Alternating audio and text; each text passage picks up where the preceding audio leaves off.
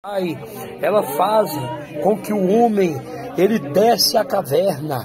Elias não teve outro refúgio a não ser a caverna. Ele estava dentro da caverna quando teu tu mandaste o anjo para falar com Elias e disse Elias, que faz aí, Elias? que tu faz nessa caverna? Elias disse, Senhor, só eu fiquei por profeta do Senhor. E tu disseste a ele, Elias, tu não estás só, porque ainda existe sete mil joelhos que não se dobraram perante a Baal. E a tua palavra diz que o teu anjo falou com Elias e disse: Elias, sai para fora, come, come dessa comida.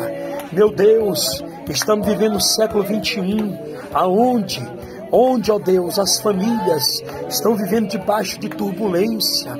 Meu Deus, estamos vivendo em um momento aonde a tribulação está grande, a tormenta está grande.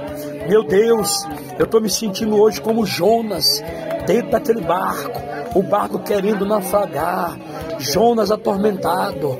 Meu Deus, eu estou me sentindo hoje como Daniel, dentro daquela cova dos leões. Os leões querem nos tragar.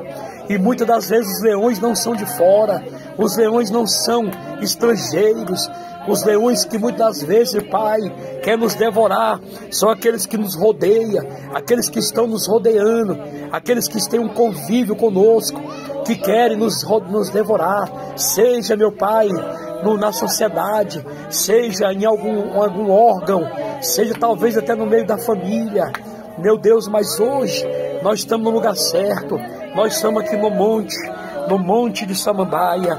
Meu Deus, eu creio que hoje terá solução. Eu creio que hoje, aqui hoje, Satanás será envergonhado, desmascarado diante do nosso altar, diante do teu altar. Meu Deus, eu sei que hoje aqui neste monte de Samambaia, nós estamos aqui como Elias. Eu, eu sei, meu Deus, que é muito fácil a gente acusar, é muito fácil a gente julgar, é muito fácil, meu Deus, a gente atacar. E Elias, ele foi julgado, ele foi atacado. Elias estava, se sentiu só. Quantas das vezes, meu pai, a gente também não se sente só. Quantas das vezes, ó pai, que a gente se sente sozinho. Parece que a gente não encontra um amigo. Parece que a gente não encontra ninguém para nos dar força. Parece que a gente não encontra ninguém para nos ajudar. E Elias se encontrou assim. Ele, ele foi se refugiar no Monte Carmelo. E ali ele estava dentro daquela caverna, daquela cova, ele saiu, ele comeu, e ele foi para a batalha. E quando ele estava em cima do Monte Carmelo, ali o povo tinha abandonado ele.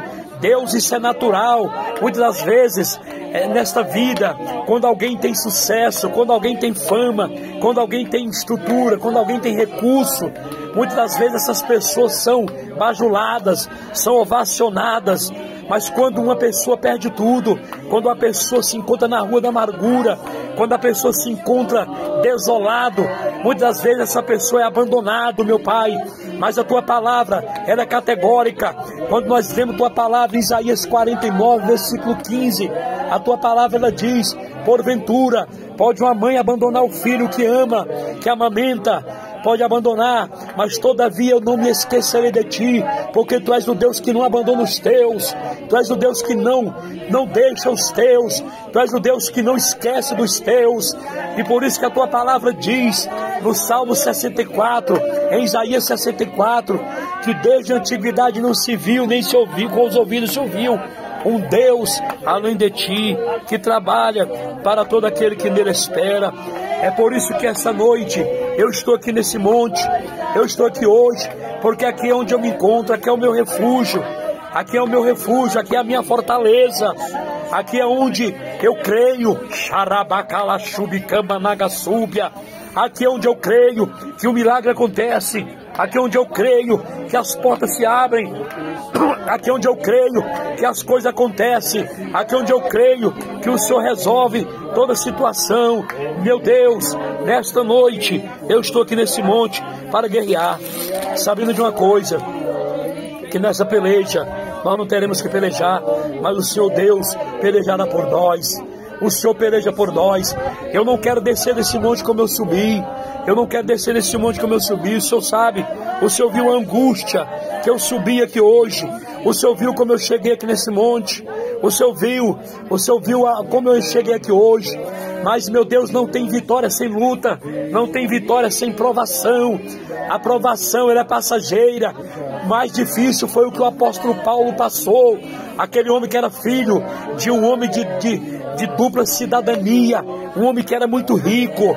O pai do apóstolo Paulo era um homem rico, mas a sua riqueza não pôde impedir dele passar pelo deserto, passar pela provação que ele passou. Por isso que com toda propriedade ele disse: "A nossa leve e momentânea tribulação, ela produz para nós um peso excelente de glória." Arachai, Candarabandaia.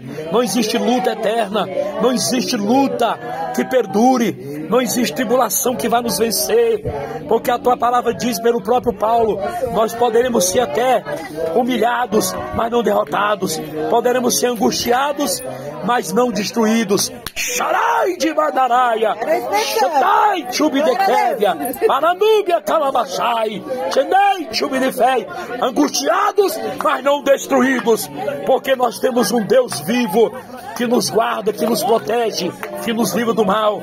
Nós temos um Deus poderoso.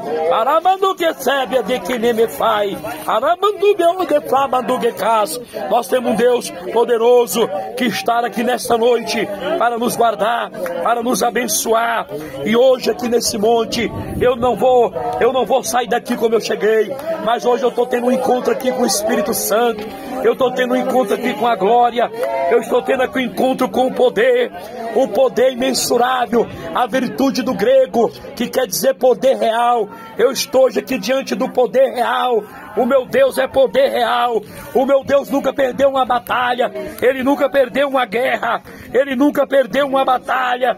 Ele nunca perdeu uma guerra. E não é essa que ele vai perder. Ele não vai perder essa guerra. Ele não vai perder.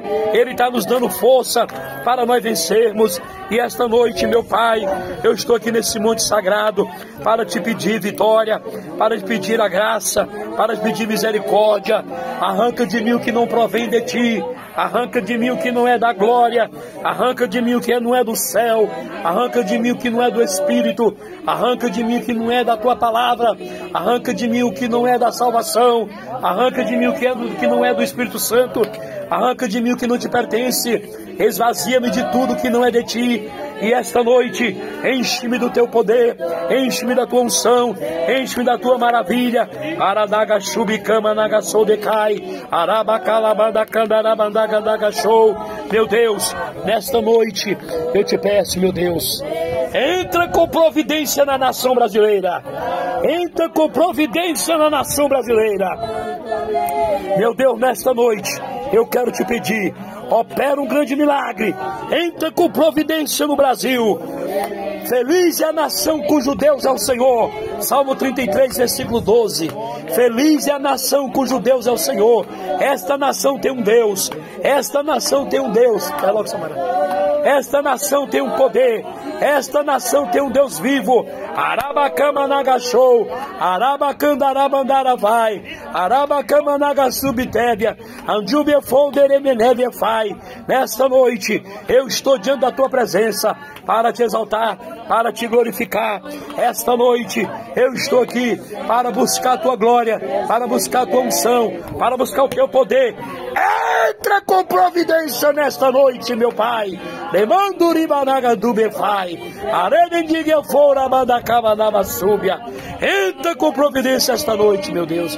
Em nome de Jesus, opera o milagre, opera o milagre, opera o milagre. Entra com providência nesta noite, meu Deus. Opera o milagre. Toma nas tuas mãos o poderio do Senhor. Dai batuque binicai, sai ribenai, chai vassúbia. Entra com providência, entra com providência. Nesta noite, o Senhor deu vitória para Elias. O Senhor dá de dar vitória para nós nessa noite também. Muito obrigado. Abençoa, meu pai, minha esposa, meu lar, meu casamento, meus filhos, minha netinha. Abençoa os Zé Cleites. Abençoa nossas vidas nessa noite, Pai. No nome de Jesus. Muito obrigado, Deus. Em nome de Jesus.